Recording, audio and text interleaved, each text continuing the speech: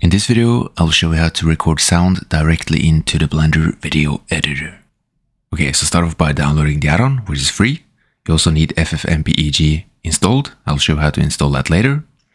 So uh, let's start off by downloading the add-on and then go into Blender. And then inside Blender, go to Edit, Preferences, Add-ons, and then Install. And then install the file you just downloaded.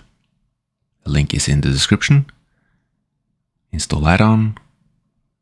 Enable the add-on. And then let's go back to the viewport and then go to File, New, and then Video Editing. If you have some red text, I'll show you soon how to fix that. And you also need to save the file before you can uh, record anything. So I'm just going to give it a name. And then I can start recording. Okay, so how do you install FFmpeg? Let's go to web browser and then I'm going to leave a link to the download in the description. You just download the zip file. And then once the zip file is done downloading, you can go in to the folder and unzip it. So I'm going to extract it here. And then once the extraction is done, you need to change the name of the folder. So I'm going to change it to FFmpeg.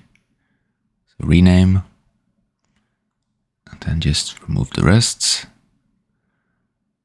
And I'm going to replace the previous folder. And then copy it and paste it into C. Let's go into the C folder and then control V. And then the next step is to go into the command prompt and paste in a uh, command.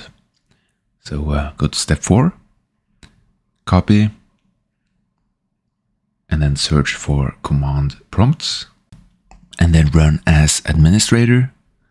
Yes, paste it in,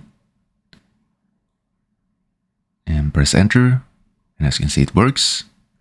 And now when you go back into Blender, you will be able to start recording.